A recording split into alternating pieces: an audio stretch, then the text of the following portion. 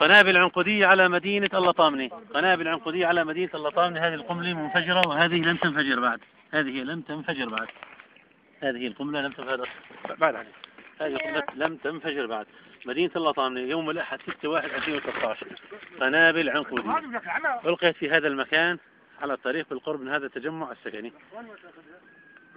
هذه مكان القنابل العنقودية.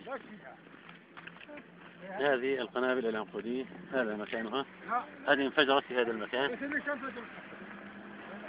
وهنا أيضا انفجرت قنبلة عنقودية.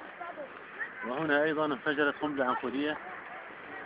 وهنا أيضا انفجرت قنبلة عنقودية. وكذلك في هذه الأمكنة انفجرت عدة قنابل عنقودية في مدينة اللطامنة يوم الأحد 6 واحد 2016 هذه مكان القنابل بالقرب من هذه التجمعات السكنية. في مدينة اللطامنة وكذلك هنا سقطت قنبلة عنقودية. وهنا في هذا المكان أيضا قنبلة عنقودية. هذا الشريط الذي تبقى من هذه القنبلة.